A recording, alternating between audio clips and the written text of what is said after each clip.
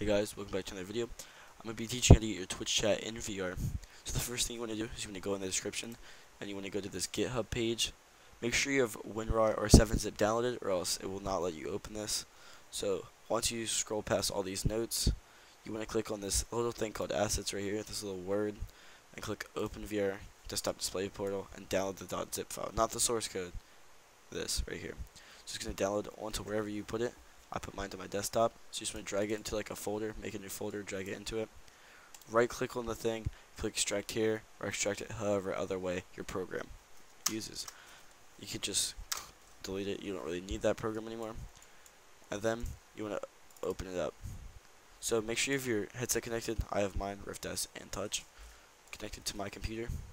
So it's going to load up as well as your Steam VR automatically boots up.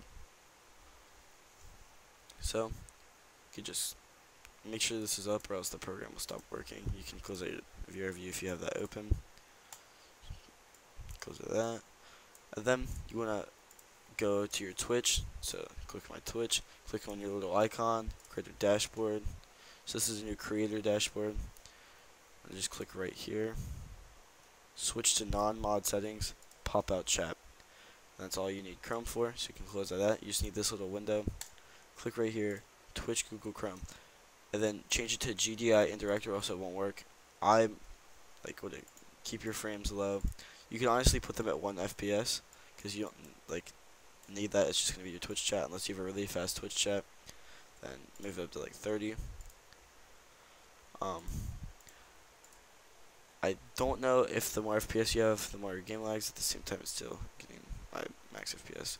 But um, it's GDI indirect so like whenever you put something over top of it, it will display the thing that's over top of it. So you have to make sure it's always over your games.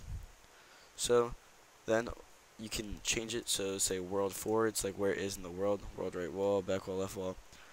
Or you can do these. Like I do left controller, backside. Right here. This is the one I use. So you just click load, and it'll switch all around. You can do swap controllers. Um, but if you hop into VR, it will actually appear on your left hand when you flip it over. Thanks for watching the video. If you enjoyed the video, make sure to give it a like.